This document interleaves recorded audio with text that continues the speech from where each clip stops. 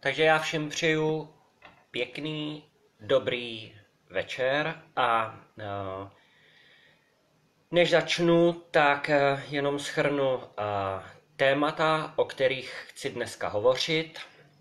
Prvním tématem je, nebo teda jsou události z, události z Kolína nad Rýnem, Další, eh, co chci zmínit, tak je eh, volba nového ministra eh, zahraničí. To bude prima téma. A další věc teda samozřejmě globální pakty, protože se pomalu blížím do finále v otázce teda těch zpráv nebo těch, řekněme, no, zpráv těch rozborů. A e, jako poslední se dostanu k 28. říjnu a dalším plánovaným akcím. Takže já vás tady ještě jednou e, všechny zdravím. E, já doufám, že mě slyšíte dobře. Víte někdy, že prostě mám problém tady trošku technický s tím přenosem, ale zatím koukám, že nám to tady naskakuje, takže to je prima. A já začnu hned teda těma událostma z Kolína nad Rýnem. Eh, Kolín nad Rýnem určitě vám všem utkvěl v paměti ještě ze Silvestra uh, oného osudného, kdy tam došlo k těm velkým sexuálním útokům, nemusím nikomu připomínat. Uh, teďkon, uh, vlastně včera, já jsem sdílel zprávu o tom, jak tam uh, oni teda psali na Focus Online sympatizant IS, nejdříve v McDonaldu uh, podpálil molotovovým koktejlem nebo zapálil uh, jednu mladou slečnu a poté ve vedlejší drogery, stalo se na hlavním nádraží Kolinským, a poté zajal další ženu ve vedlejší drogery. Policie ho potom spacifikovala a s vážnými zraněními tento dotyčný uh, Arab, jak psal Focus Online, skončil v nemocnici. Tady k tomu bych chtěl jenom dodat, že se mi dostalo spousta dotazů, kde, kde pak pan Chytra vzal to, že byla zapálená dívka. Vždyť o tom přece novinky neinformovali. I dnes o tom nepsalo. No a česká televize to taky neřekla. TV Prima dokonce prý natočila reportáž a tam to nezaznělo. Já se velice omlouvám, přátelé i nepřátelé, eh, prostě všichni, co mě sledujete, ale já český média sleduju opravdu pouze velmi okrajově a velmi sporadicky, poněvadž ty zprávy, eh, řekněme to, co se děje v Německu, tak já se dozvím samozřejmě z německého mainstreamu. To znamená hlavně Focus, Welt, NTV, N24 a uh, třeba RTL. Eh, takže já opravdu nevím, co psali český média, já jsem to ani nečet, nicméně takto, jak jsem vám řekl, popsal událost, popsal událost právě Focus online a tak, jak to napsal, tak jsem to prostě sdílel. Hotovo, tečka. Teď mám pro vás další událost uh, z Kolína nad Rýnem. Já jsem že se usmívám, ale berte to spíš tak jako ironický úsměv. Petra Badís, halo, Zuzana Anna Vítová, zdravím, já vás všechny zdravím samozřejmě. Uh, a zase došlo tedy k nějakým uh, teda pochybnostem, i když on, kdo bude chtít pochybovat, tak stejně si poznámky neodpustí, samozřejmě má na to každý právo, tak eh, já ten poslední příspěvek, který jsem napsal, eh, ta druhá událost, která se stala eh, v Kolíně nad Rýnem v pondělí 15.10.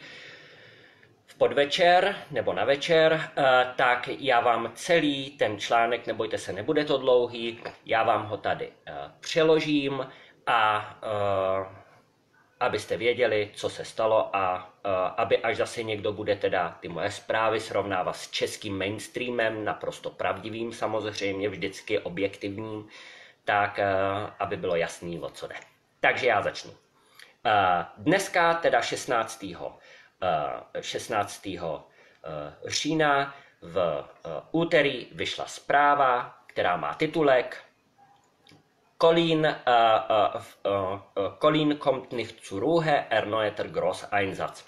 Mit Hammer auf Opfer angeschlagen und Schuss abgefeuert. Kolín, v Kolíně není klid, opětovný velký zásah, policejní myšleno, dvojtečka s kladivem, ne, oběť, na oběť zaútočeno kladivem a vypáleny výstřely. Já to budu překládat takhle trošku nešikovně, protože samozřejmě ta Němčina se od češtiny gramaticky dost liší, ale vy to určitě pochopíte. Uh, takže začínáme uh, po velké události uh, s, na hlavním nádraží, kde došlo tedy k, k no, jak se to řekne, k vzetí rukojmí v pondělí 15.10. byl Kolíňan, tím se myslí mladý muž, 19-letý, v centru města napaden skupinou mužů. Do, do této doby zatím neznámý pachatel zaútočil kladivem na svoji oběť, komplic 29-letý tohoto útočníka potom vystřelil z pistole. Zalarmovaná policie 29-letého zadržela na místě. Tak, teď pardon, já si jenom tady je fotka, takže musím trošičku níž. Kolem půl deváté večer byl 19-letý poškozený na cestě domů a šel uh, Krefelder Straße. To je Krefelda, Krefelder Straße je název ulice. Uh, Teď cituji toho poškozeného, náhle přišli tři muži, náhle k nám přišli tři muži, jeden uh, okamžitě uh, uh, zaútočil na mě kladivem, uh, říká uh, poškozený, uh, později, uh, uh, nebo řekl poškozený později policistům. Uh, uh, uh, uh, ten mladík se uh, snažil, uh, ten, ten uh, poškozený mladík, který byl zasažen tím kladivem, u, utekl do uh, nějakého baráku a schoval se tam. Uh, na protější ulici stál uh, muž, který držel uh, pistoli v ruce. On minimálně jednou vystřelil. Dál pokračuje v té své výpovědi ten mladík 19 letý.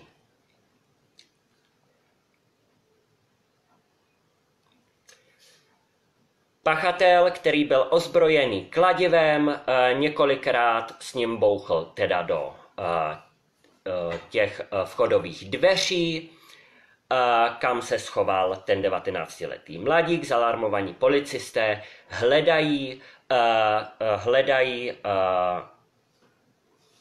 ty pachatele, kteří utekli, jak jsem říkal, byli tři. Jednoho pachatele, toho 29-letého, s tou pistolí policie zadržela.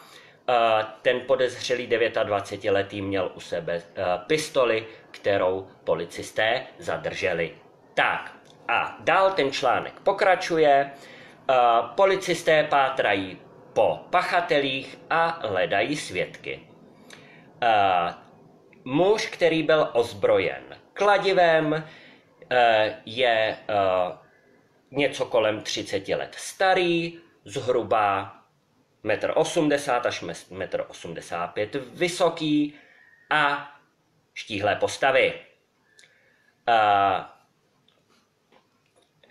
Popsaný muž vypadá jako Nordafrikáner, určitě si pamatujete na Begriff, eh, ze kterým, nebo na eh, ten, na, eh, jak se tomu říká, na takovou tu zkratku, kterou policisté používali tenkrát v Kolíně nad Rýnem právě v souvislosti a policie za to byla velmi kritizována. Nafri se to jmenovalo, já jsem to taky potom používal, Nordafrikána, takže severní Afričan, uh, teda takže tady je prostě jeho popis, že měl krátký, že má krátký uh, kudrnatý vlasy a že je po stranách uh, vyholen nebo krátce se střížen. Policist, policie hledá svědky, uh, kteří se uh, tomto inkriminovaném okamžiku nacházeli na uh, té Krefelderstraße a tak dále a tak dále. Takže to je jenom takový, sice ne moc šikovný, ale takový uh, eh, překlad, protože takhle narychlo já to překládat moc simultánně neumím, ale já myslím, že jste to všichni uh, pochopili. Uh, takže když si to schrneme, tak zkrátka dobře, kluk 19 letý šel domů v centru přes tuhle tu Krefelderstraße, najednou k němu přiskočili tři útočníci, kteří na ně, jeden z nich na něj zautočil kladivem, ten kluk se snažil uh, utíct, schoval se v baráku a ten s tím kladivem se za ním pustil, bouchal do těch dveří a samozřejmě kladivem. Na protější straně stal potom jeho kumpán, který měl v ruce pistoli a z té pistole vystřelil. Tak, policie teda toho s tou pistolí zadržela, ten s tím kladivem plus ten další uh, utekli a svědci uh, popisují tohoto pachatele, uh, nebo tyto pachatele, uh, uh, nebo tohoto pachatele s tím kladivem, pardon, jako 30-letýho, 1,80 až 85 vysokýho a uh, jako severního Afričana. Takže to je uh, teda k tomuhle, z tomu, co jsem vám chtěl říct, k těm událostem uh, z toho, z toho uh, Kolína nad Rýnem a uh, teď se budeme věnovat dalšímu tématu a tím dalším tématem je volba Eh, nebo volba, je eh, v podstatě eh, nový ministr, nový ministr zahraničí. Tak, chvilinku vydržte.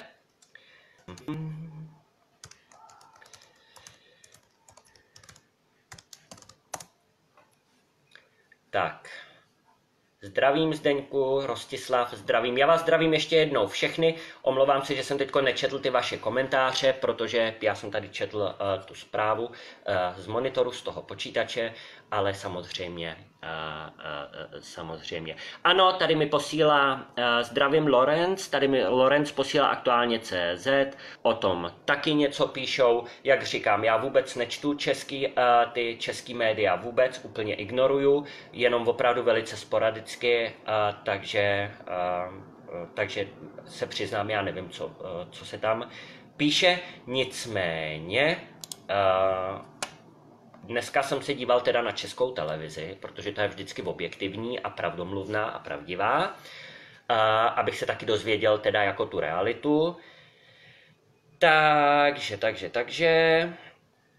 Uh, uh, uh, uh.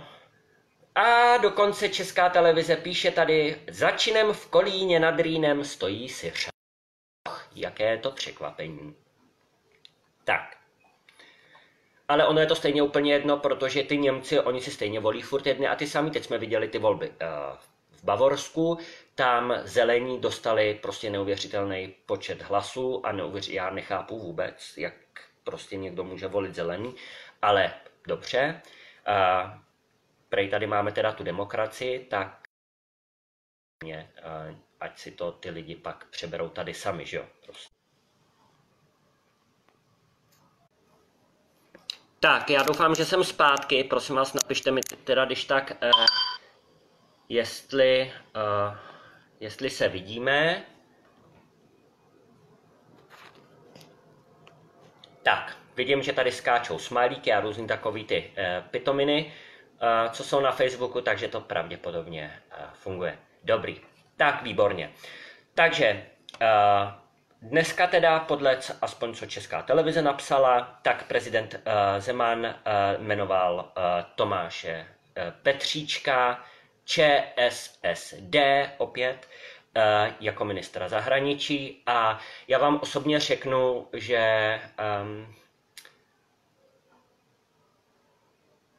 je to taková katastrofa.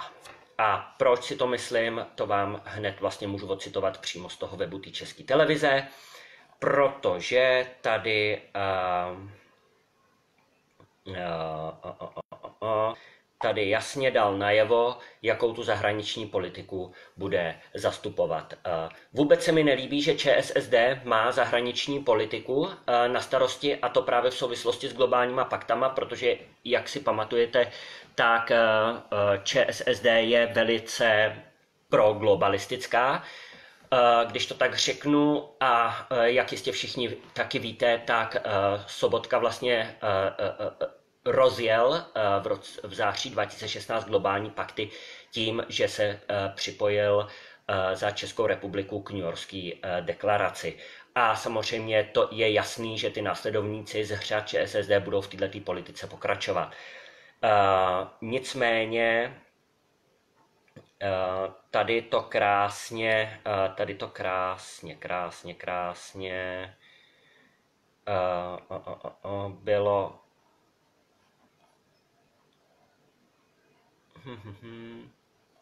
Tady to krásně bylo, já to teďko nemůžu najít. Jo, ještě vydržte sekundičku, protože to je fakt důležitý.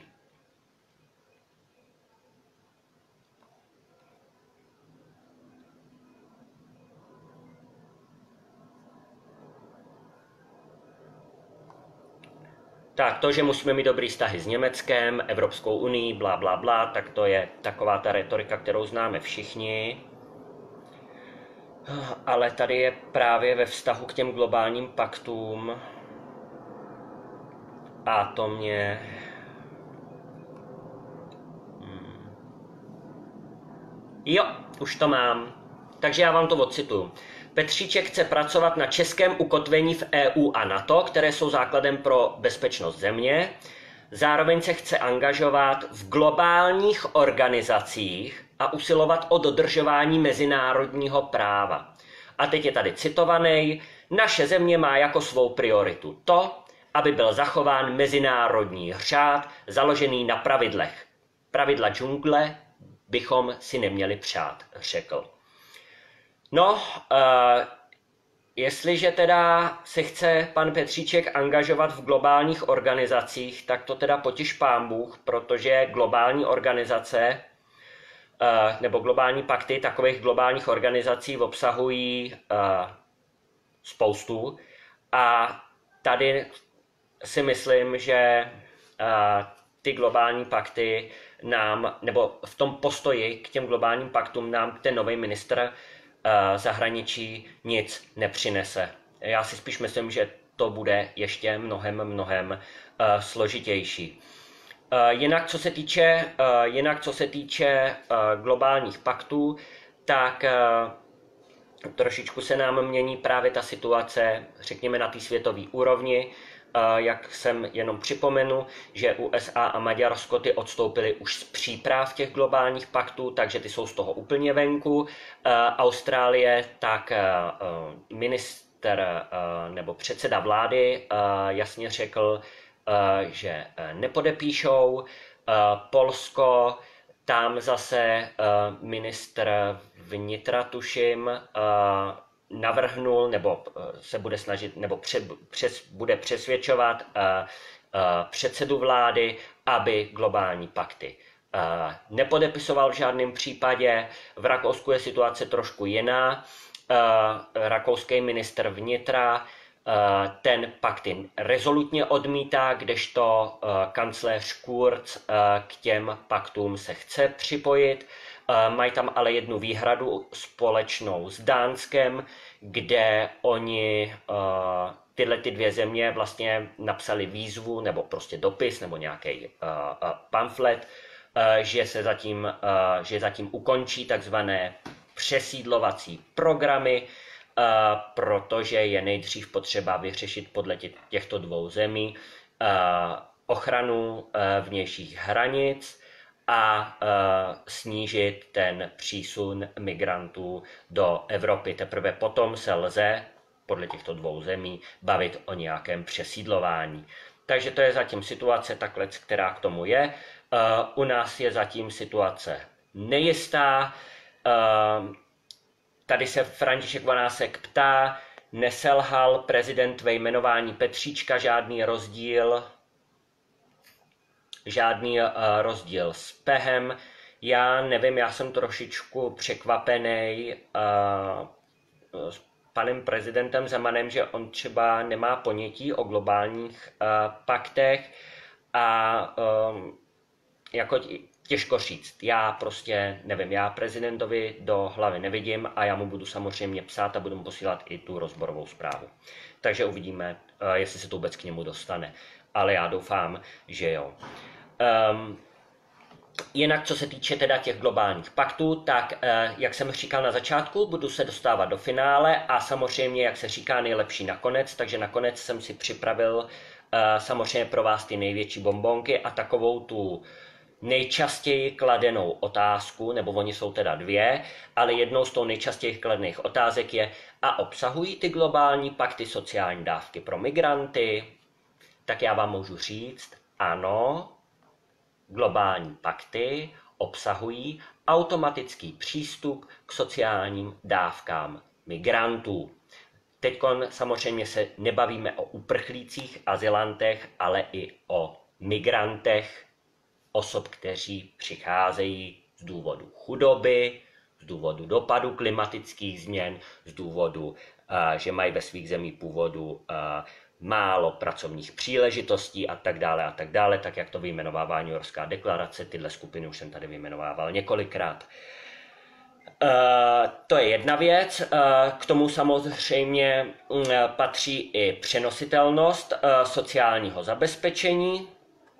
Eh, tam by to mělo fungovat eh, mimo jiné i na principu, že když oni tady budou pobírat sociální dávky u nás a vrátí se zpátky domů a tam budou pobírat nižší sociální dávky, tak by měli uh, jsme jim to i doplácet.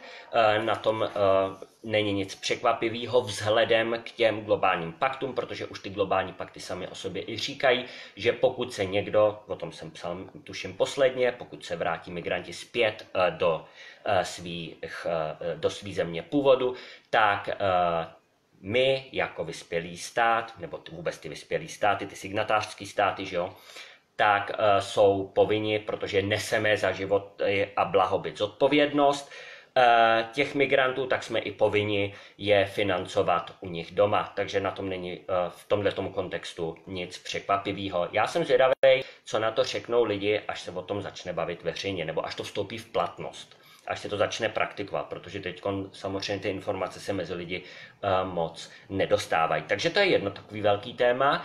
A druhý velký téma je samozřejmě, a je to závazný, a vždy to není závazný, prosím vás.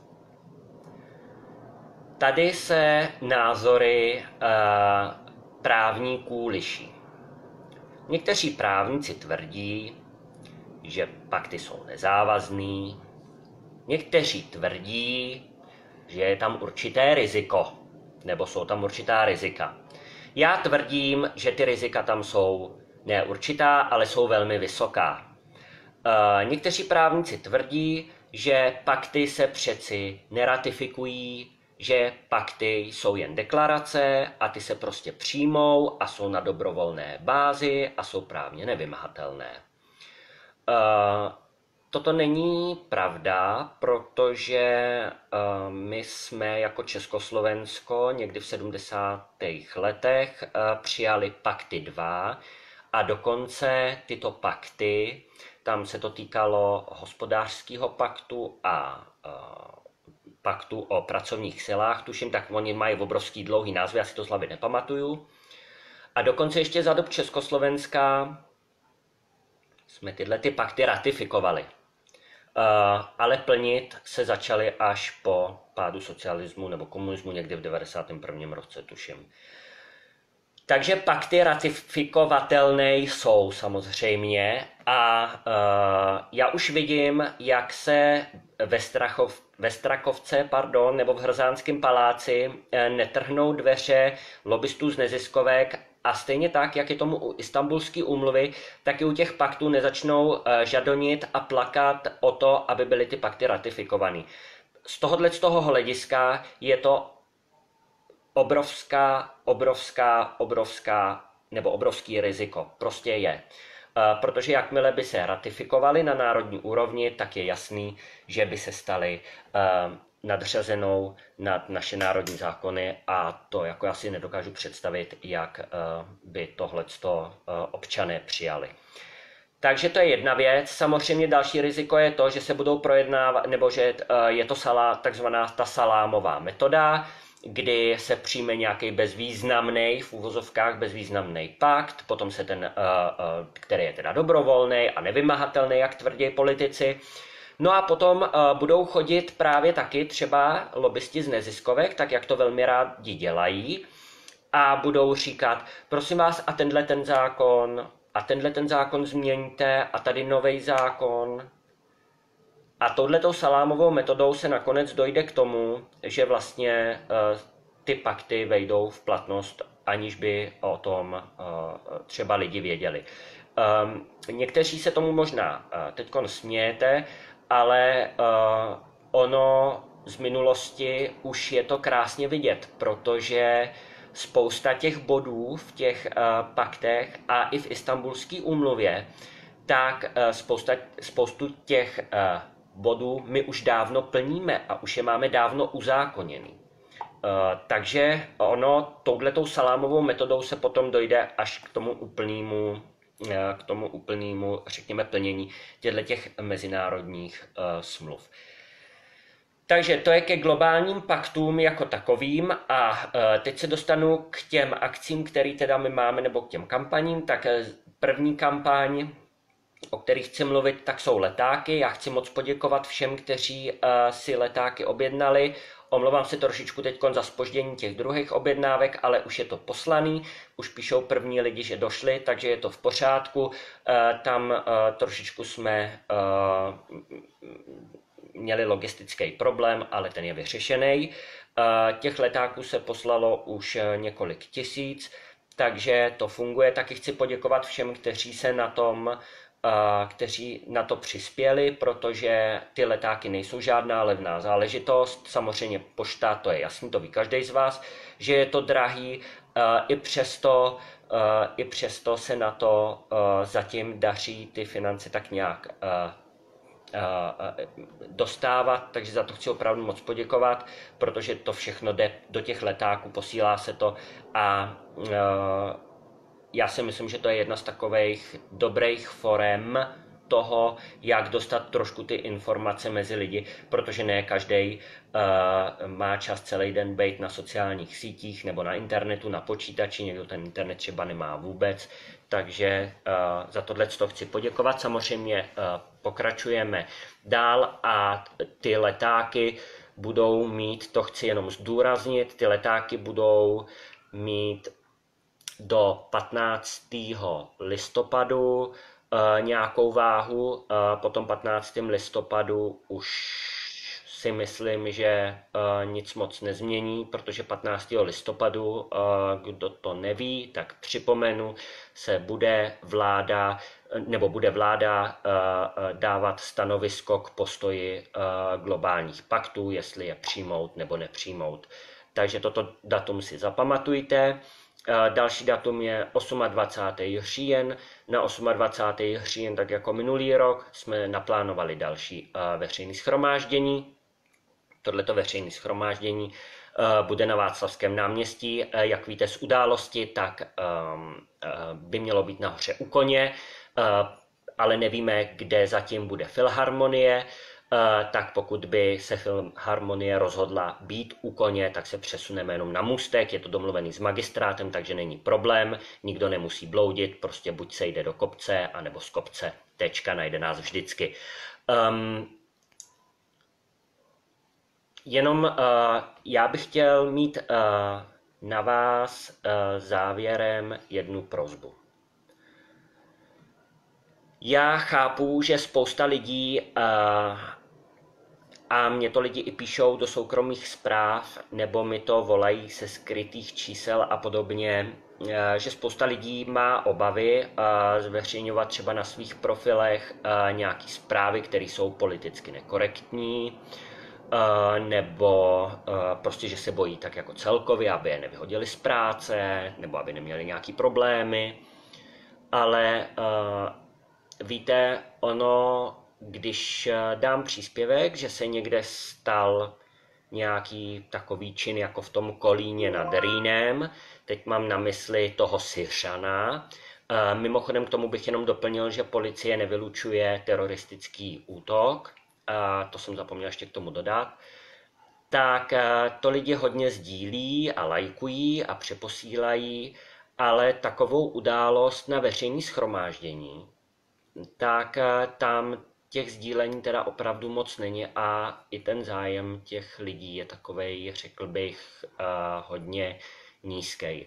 Uh, já samozřejmě říkám, já do nikoho ničeho nenutím, nikomu neříkám, co má dělat, ale chci k tomu jenom říct, že zorganizovat takovouhle akci, i když se to zdá jednoduchý, tak to jednoduchý vůbec není. Stojí to spoustu času, stojí to spoustu uh, peněz a hlavně uh, to není dělaný za účelem nějakým, aby to přineslo uh, uh, prospěch třeba mě, nebo Černohorskému, nebo kohokoliv, kdo to prostě organizujeme. My jsme vždycky ty akce dělali za tu určitou věc, za kterou se ty akce byly prezentovány. A teď je to oslava nebo připomenutí 100 let výročí vzniku republiky. A samozřejmě do toho zahrneme právě i ty globální pakty, protože nám opravdu dochází čas a istambulskou úmluvu taktéž. Um, já bych sem chtěl jenom poprosit, kdo z vás uh, může, tak oslovte další lidi, uh, aby přišli, pro, nebo dejte vědět prostě, že ta akce se koná, protože já jsem proti Eh, istambulský úmluvě ani proti eh, globálním paktům žádný jiný eh, veřejný akce. Neviděl, nenašel a věřte mi, že kdyby někdo dělal veřejnou, veřejný schromáždění nebo demonstraci proti globálním paktům nebo istambulské úmluvě, tak já bych to přijel sám podpořit. Eh, bohužel nic takového není a eh, já prostě ty globální pakty dotáhnu do konce eh, tak nebo tak. Takže to je k tomu schromáždění. Jinak, jak, jak jsem naznačil, tak na tom Václavském náměstí by potom měla být, ale prý ve večerních hodinách, nevím jestli v 7 nebo v 8 hodin, filharmonie, takže já potom schromáždění potom zůstanu na ten koncert, protože já mám rád vážnou hudbu, jenom já doufám a přeju si, že tam nezahrajou tu hrůzu, eh, který říkají eh, natažená státní hymna. Určitě víte všichni, na co narážím. A že pokud tam budou hrát hymnu státní, že ji zahrajou opravdu tak, jak je. Tak eh, a tady někdo se mi hlásil do vysílání, já teda nevím, kdo to, Eh, kdo to byl. Eh, nicméně eh, já myslím, že jsem tomu dneska řekl, že jsem tomu dneska řekl všechno. Jestli máte někdo nějaký dotaz, tak se když tak zeptejte a jinak já musím ještě dělat další nějaký dokumenty, protože probíhají řekněme, zajímavé schůzky mezi mnou a velice vysoce postavenými lidmi. Já jsem bohužel k těmto schůzkám nebo tyto schůzky se mohly a můžou uskutečnit jenom v případě, že nebudu o nich veřejně hovořit, takže vám nic bližšího k tomu říct bohužel nemůžu, ale snad až prostě bude tato věc kolem globálních paktů o, o, řekněme, uzavřená, ať to dopadne jakkoliv, tak já třeba to potom zveřejním. Ale já zase nejsem člověk, že když někdo mi řekne, dobře, souhlasím se schůzkou, přijďte, ale nikomu to neříkejte, že jste byl u mě, nebo že jste byl tady, nebo o čem jste se bavili, tak zase já neřeknu, kde jsem nebo tak. Jenom chci, abyste věděli, že prostě se něco děje, i když to není třeba na první pohled znát, protože té práce kolem toho je spousta a prostě ne, nedá se všecko taky ani zveřejňovat. Jsem pro stávku, co vy na to? Uh, o tom píše spousta lidí, stávka by byla skvělá, ale ani odbory, ani podnikatelé a už vůbec ne koncerny vám do toho nepůjdou, takže tato možnost bohužel odpadá. Zdenku díky moc za to, co děláš, není vůbec zač. Někde jsem četla, že snad dneska někde bylo sejítí se za účelem globálních man, man, man, man, man, za účelem globálních paktů někde v Praze, moc se omlouvám, ale teď v rychlosti si nevzpomenu, kde všichni snad měli být proti. Nevím, ale bylo by dobré, kdyby se to zjistilo, protože pokud by to, uh, protože uh, pokud bych věděl, kdo to děl, kdo to třeba organizoval, tak bych se mohl spojit, mohli bychom udělat větší uskupení, oslovit víc lidí a třeba by to mělo tu větší sílu. Takže, to, takže tohle by bylo dobrý uh, zjistit. Zdravím. Tak, přátelé, ještě nějaký dotazy máte? Ptejte se.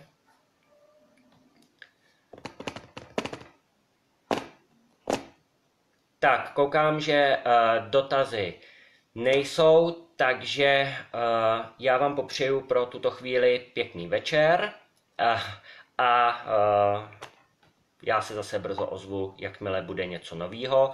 A jenom vás poprosím, když uh, víte, že sdílím ten seriál o globálních paktech, v podstatě ten seriál, který já píšu, ty různý témata, přesídlování, um, převzetí zodpovědnosti za blahobyt a životy uh, uprchlíků a migrantů uh, a tak dále a tak dále, tak uh, aspoň tohle to prosím vás sdílejte.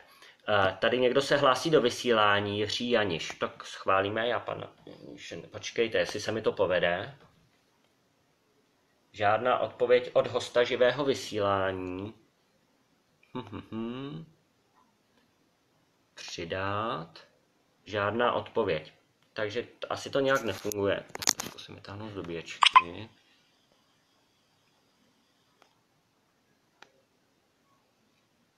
Ne, bohužel nejde to, takže nejde to.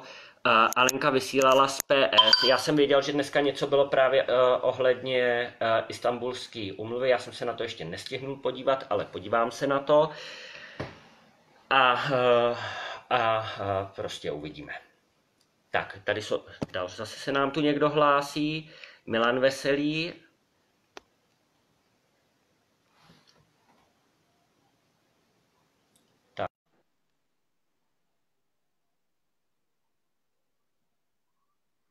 Tak, Radka Hladíková píše, že Barandov je odsouhlasen, ale nic se neděje.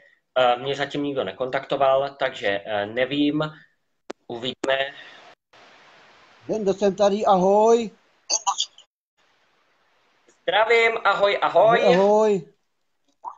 No, jak, e, jak to tam bylo, bylo to z poslanecké sněmovny a Klára Samková tam dělala přednášku o těch o té istambulské smlouvě. A byli tam poslanci, že jo, a poslouchali, poslouchali. Bylo to dopoledne dneska. Mně se... Hmm. Tak to je super. Mně se donesla zpráva, že tam byli snad čtyři nějaký právníci, kteří to tam opravdu docela dobře rozebírali. Ano, ano. Takže že prej to bylo celkem jako peprný. Tak já se na to určitě doufám, že to někde je, že to někdo nahrál, no, uh, protože si to vyhledám a určitě se na to podívám. No, naše Ivanka to natáčela, ale jak, nebylo to asi celý, byl tam jenom od malý krátký záznam, tak jestli to bude někde celý, protože tam asi měli ještě prosloví k tomu potom nějaký. No. Jo, ale jinak tak teda... Vidíme, no. Eh, měl by z toho aspoň zvukový záznam, takže třeba i ten uvidíme. Uvidíme, no. Ale jinak teda myslím si, že i, už, i církev jako hodně o tom jako komunikuje, protože i kardinál Duka podpořil vlastně eh, toho Pidhu, Pidhu, jo, Takže jako, jako ono, ta, práce, ta tvoje práce opravdu nese plodí. Hmm. Jo, díky ti za to. Ono u té církve, tam se tomu opravdu není, já ti skočím do řeči, co divit, protože církev vyznává ty hodnoty tradiční rodiny, prostě už uh, z toho svého, řekněme, základu. Takže tam jako uh, se dalo předpokládat, že církev se proti tomuhle postaví. Což je zase na jednu stranu dobře, protože uh, mně se to, abych řekl pravdu, mně se líbí uh, ne, nejenom tohle